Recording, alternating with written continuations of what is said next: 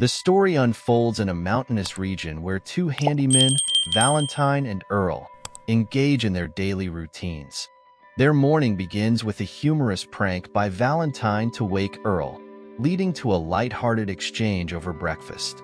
As they work, they encounter Rhonda, a seismology student who shares her concerns about strange tremors in the area. Despite Valentine's initial disappointment in Rhonda's appearance, they engage in a conversation about the unusual seismic activity. As the day progresses, the duo visits the town of Perfection, where they interact with locals and face minor mishaps, including a comical argument with Melvin, a fellow worker. However, the light-hearted atmosphere shifts dramatically when they discover the dead body of Edgar, a local man, hanging from an electricity tower. The doctor informs them that Edgar died of dehydration, raising suspicions about the circumstances surrounding his death.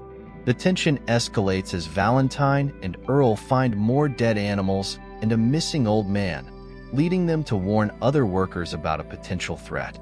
Their warnings go unheeded, resulting in a series of gruesome events where workers are attacked by an unseen creature. The narrative intensifies as the townsfolk realize they are dealing with a deadly underground monster which they later learn is called a graboid. As night falls, the creature attacks the doctor and his wife, leading to chaos in the town. The townspeople, including Valentine and Earl, arm themselves and prepare to confront the creature. They devise a plan to escape to Bixby, but the creature's relentless pursuit complicates their efforts. In a series of harrowing encounters, they manage to kill one of the graboids, but learn that there are more lurking beneath the ground. The story shifts to a new setting in Chiapas, Mexico, where Earl is recruited to hunt graboids after reports of attacks at an oil field. He teams up with Grady and a geologist named Kate, embarking on a mission to capture and eliminate the creatures. Their hunt reveals that the graboids are not only intelligent but also capable of evolving, leading to the emergence of a new, more dangerous species called shriekers. As the group battles the shriekers, they face numerous challenges, including the creature's ability to sense heat and their rapid reproduction.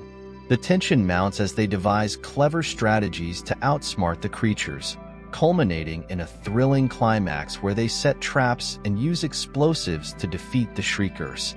In the aftermath of their harrowing experiences, Earl and Kate develop a romantic relationship, while Grady suggests the idea of a monster-themed park to capitalize on their adventures. The story concludes with a sense of camaraderie among the survivors, highlighting themes of friendship, survival, and the unexpected challenges posed by nature.